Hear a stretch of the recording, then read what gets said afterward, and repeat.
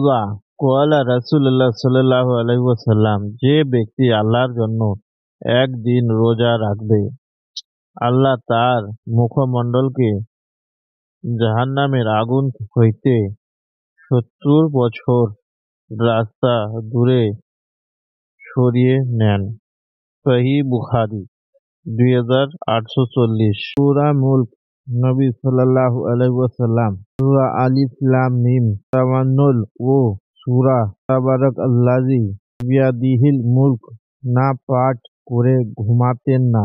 জামেয়াত তিরমিজি, হাদিস নাম্বার দুই হাজার আটশো বিরানব্বই। কোরআনে তিরিশটি আয়াত বিশিষ্ট একটি সূরা রয়েছে।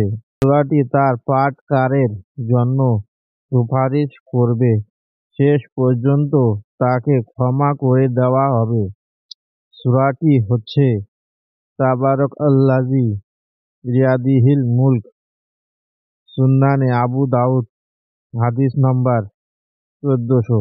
আবু হুরেরা রাজি আল্লাহ বলেন রাসুল আল্লাহ সাল্লাহ আলহাম বলেছেন, সর্বদা নেশাদার জর্ব পানকারী, মূর্তি পূজকের ন্যায় অপরাধী।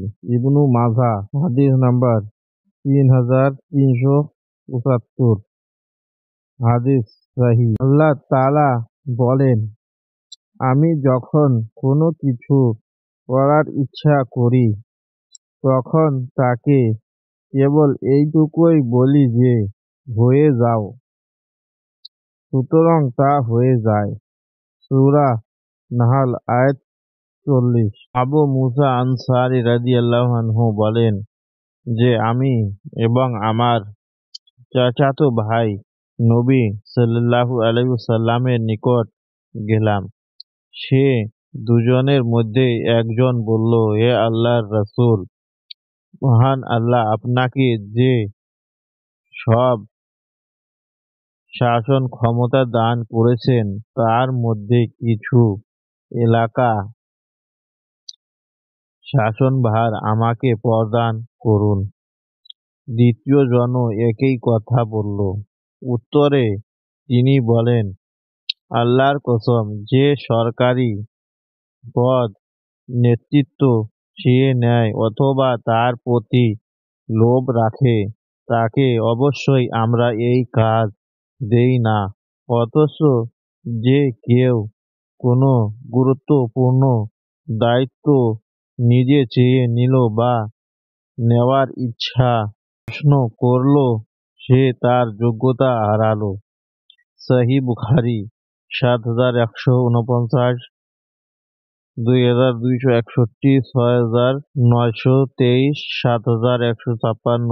নাসাই, পঁয়তাল্লিশ হাজার তিনশো বিরাশি। আবু দাউদ, দুই হাজার নয়শো তিরিশ। আহমেদ, উনিশ হাজার আঠারো। লিহিন ছয়শো পঁচাশি। আবু হুরেরা রাদিয়াল্লাহু হইতে বর্ণিত।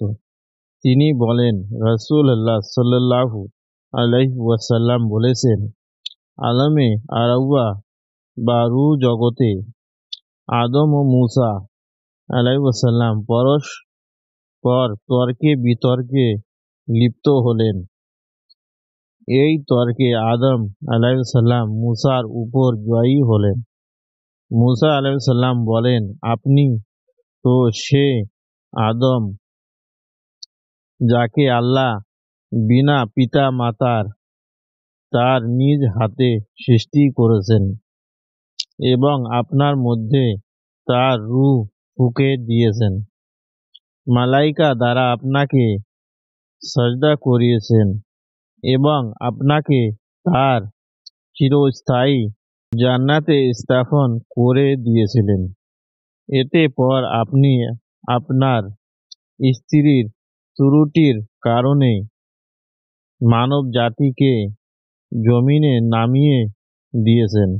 আদম আলাইসাল্লাম কি উত্তরে বলেন, তুমি তো সে মুসা যাকে আল্লাহ তালা নবুয়াতের মর্যাদায় অধীনিষ্ঠ করেছেন। তোমাকে তরাত দান করেছেন। এই সমস্ত বিষয়ে বর্ণনা রয়েছে। অধিক কিন্তু তিনি তোমাকে গোপন কথা দ্বারাও নৈকট্য দান করেছেন। আল্লাহ আমার সৃষ্টির কত বছর পূর্বে তওরাত লিখে রেখেছিলেন। তুমি কি জানো, মুসা আলাইসাল্লাম বলেন, চল্লিশ বছর পূর্বে তখন আদম আলাইসাল্লাম বলেন, তুমি কি তওরাতে এই শব্দগুলো লিখিত পাওনি যে আদম তার প্রতিপালকের নাফরমানি করেছে এবং পথভ্রষ্ট হয়েছে? সুরা তভা বিশ, একশো একুশ। মুসা আলাইসাল্লাম উত্তর দিলেন হ্যাঁ পড়েছি। তখন আদম আলাইসাল্লাম বলেন, তারপর তুমি আমাকে আমার আমলের জন্য তিরস্কার করছ কেন? যা আমার সৃষ্টির ও চল্লিশ বছর পূর্বে আল্লাহ আমার জন্য লিপিবদ্ধ করে রেখেছিলেন।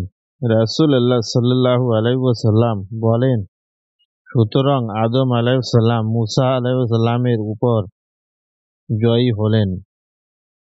সাহি মুসলিম। দুই হাজার ছয়শো বাহান্ন বুখারি, ছয় হাজার ছয়শো চোদ্দ তে সংক্ষিপ্তভাবে আবু দাউদ, চার হাজার সাতশো এক তিরমিজি, দুই হাজার একশো চৌত্রিশ ইবনু মাজা আশি, আহমদ সাত হাজার তিনশো সাতাশি, সাহি ইবনু হিব্বান ছয় হাজার একশো আশি, সাহি আল জামি একশো চুরাশি একশো চুরাশি মিসকাত একাশি। মহান আল্লাহ তাআলা বলেন, আল্লাহ যাকে হিদায়ত দান করেন সেই হয় হিদায়ত প্রপুত্র আর যাকে তিনি পথভ্রষ্ট করেন সে হয় ক্ষতিগ্রস্ত। সুরা আল বাখরা একশো আটাত্তর রাসূলুল্লাহ সাল্লাল্লাহু আলাইহি ওয়াসাল্লাম বলেছেন, যে মহিলা সুগন্ধি ব্যবহার করে লোকজনের নিকট দিয়ে ভ্রমণ করল এবং লোকজন তার গন্ধ পেল, সে মহিলা বিচারিণী সুন্নানে আন নাসাই পাঁচ হাজার একশো পঁচিশ। আবদুল্লাহ ইবনু উমর রাদিয়াল্লাহ হইতে বর্ণিত। তিনি বলেন জনক ব্যক্তি রাসূলুল্লাহ সাল্লাল্লাহু আলাইহি কাছে জিজ্ঞেস করল, ইসলামে কোন আমলটি উত্তম? সাল্লাল্লাহু আলাইহি ওয়াসাল্লাম বলেন, অপরকে খাবার খাওয়াবে এবং পরিচিত, অপরিচিত সবাইকে সালাম দেবে। গ্রান্ত মিসকাতুল মাসহাবি হাদিস নাম্বার চার হাজার ছয়শো উনত্রিশ সাহি বুখারি, বারো আঠাশ, মুসলিম মুসলিম উনচল্লিশ তেষট্টি, আহমদ, ছয় হাজার পাঁচশো একাশি, নাসাই, পাঁচ হাজার, ইবনু মাজা তিন হাজার দুইশো তিপ্পান্ন, আবু দাউদ, পাঁচ হাজার একশো চুরানব্বই। সাহি আত তারগিব ওয়া তারহিব নয়শো চুয়াল্লিশ সাহি আল আব্দুল মুফাসসার সাতশো উনআশি সাহি ইবনু হিব্বান পাঁচশো পাঁচ নাসাই কুবরা এগারো হাজার সাতশো একত্রিশ আবুল ইমাম তিন হাজার তিনশো তিন হাজার তিনশো উনষাট